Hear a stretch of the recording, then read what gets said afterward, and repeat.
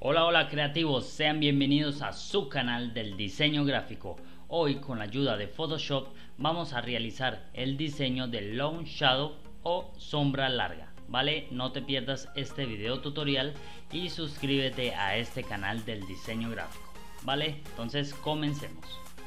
Bueno creativos, para realizar este diseño de Long Shadow o sombra larga, lo primero que debemos hacer es crear un archivo vamos a colocarle un color de fondo entonces vamos a la herramienta bote vamos aquí a nuestros colores y vamos a seleccionar un color que deseamos y le damos clic a nuestro fondo vale ahora vamos a ir aquí a la herramienta texto vamos a cambiarle el color vamos a colocarle un azul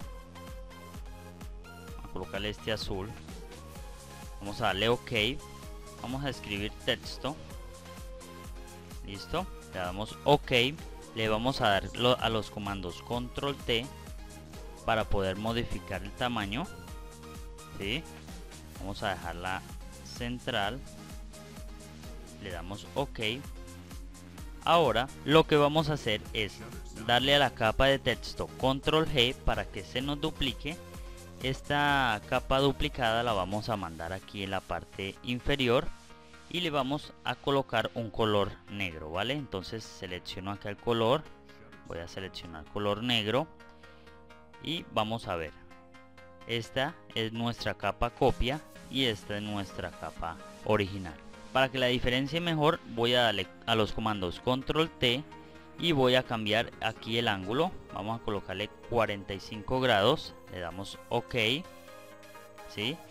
Este es nuestro texto copia y este es el original. Ahora al texto copia vamos a darle clic derecho. Vamos a resterizar texto ¿sí? para que se nos convierta en una imagen. Y ahora lo siguiente que vamos a hacerle es con la tecla al suprimida vamos a ir con las flechas y le vamos a mover a, dar a las flechas hacia abajo. Y automáticamente ella nos va a copiar ¿sí? las capas vamos a hacer por ahí unas 100 110 copias ¿sí? como lo pueden apreciar vamos a ir hasta hasta la primera capa que, que realizamos. Vamos con la tecla shift para seleccionar todo nuestro texto y le podemos dar dos opciones. Control E para agrupar todas las capas o le damos clic derecho y le decimos combinar capas vale aquí ya nos queda nuestra texto, ¿sí? Copia que hicimos combinado con 100 más. Bueno, ahora para dejarlo de la manera igual que texto, ¿sí? Vamos a seleccionarlo con control T.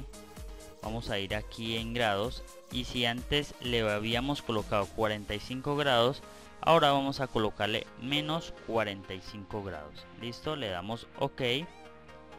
Y ahora lo único que nos falta es llevar nuestro texto oscuro aquí a la parte de atrás ¿sí?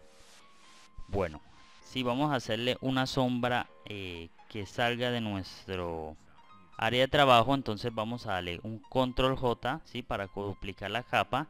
Y vamos a correr acá la, la capa. Listo vamos a darle otro control J para terminar. Listo ahora por último vamos a seleccionar las tres capas que hemos duplicado y le vamos a dar control E. Listo bueno aquí ya nos quedaría solamente en bajar la opacidad de nuestro texto sí entonces vamos a bajarle. Ya es según el, la tonalidad que ustedes elijan vale yo lo voy a dejar en 30% listo bueno, eh, ahora les voy a dar un truco para que se nos vea mucho mejor eh, nuestro diseño.